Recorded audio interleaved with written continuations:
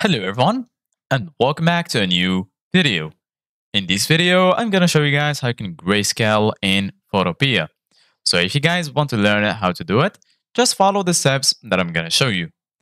As you can see guys, I'm right now in Photopea and right here is the image I want to grayscale.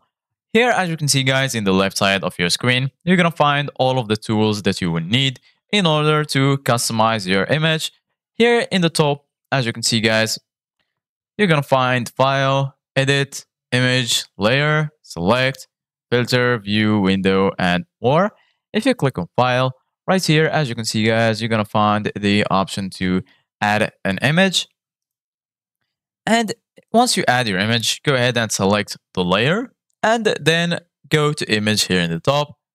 Once you do that, here you're gonna find mode, adjustments. Here in adjustments, you're gonna find the brightness, contrast, levels, curves, exposure, vibrance, and so on.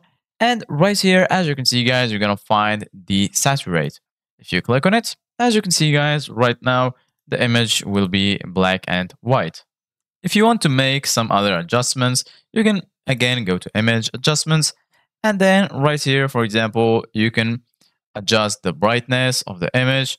You can also increase or decrease the uh, contrast. Then you can also uh, adjust the levels right here, as you can see, guys. And once you finish, if you want to save your image, just go to File, and then right here, you're gonna find Save. You can save it. You can save it as PSD. Right here, you're gonna find the option to export it. You can export it as a PNG, JPG, WebP, PDF, SVG, GIF, and so on.